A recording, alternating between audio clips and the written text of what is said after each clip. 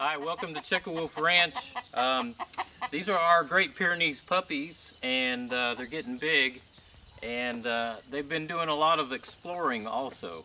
And uh, what I wanted to show you today was uh, our security system that we have on the chicken coop and uh, what we do to keep our eggs intact. So uh, let me show you what's going on.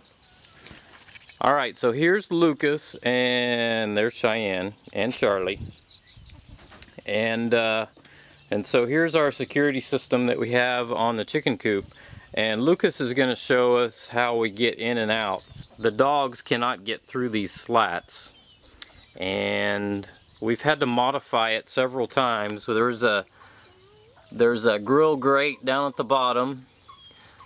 There's a uh, tie uh, a bungee cord, black bungee cord tie there, and that's to keep the gate from from coming out. Why don't you show them how that works, Lucas? So we have to take the the bungee cord off, and he hangs it up there so it doesn't get all poopy. And then go ahead, and then we got a little loop around that. And then that's our little door okay? And so let's go inside Lucas.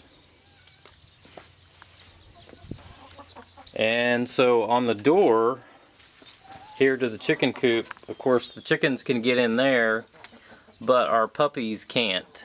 That's our Great Pyrenees mix puppies. Obviously can't get through that door. And so we have a brick there um, to keep the door from getting scratched and pulled out. So Lucas, why don't you show us how to do that? So we have a little latch up top.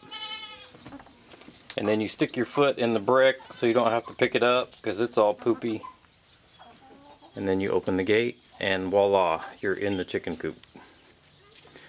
So reason that we've done this is because um, our dogs were getting in here and they were helping themselves to plenty of eggs and uh, weren't they? Yeah. And so uh, that's not what we wanted.